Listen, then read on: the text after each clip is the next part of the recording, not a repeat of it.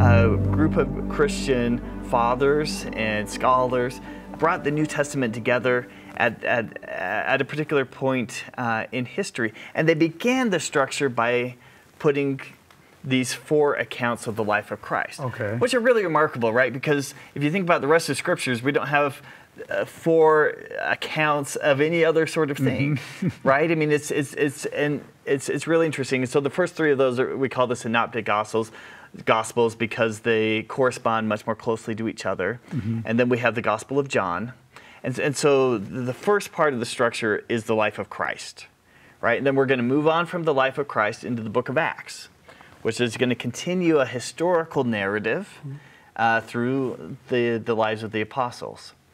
And then there's kind of a break. We're going to move from books that have a historical narrative structure to letters. Okay. There's 14 of them.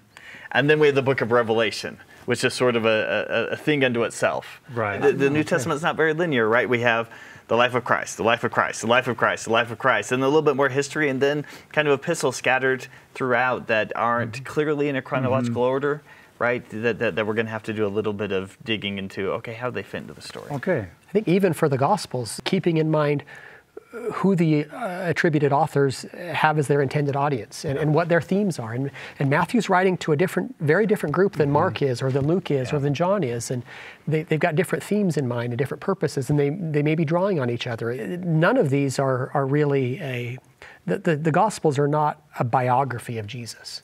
These are testimonies, and I, that, that's what the JST changes Yeah. that to, to a couple of these.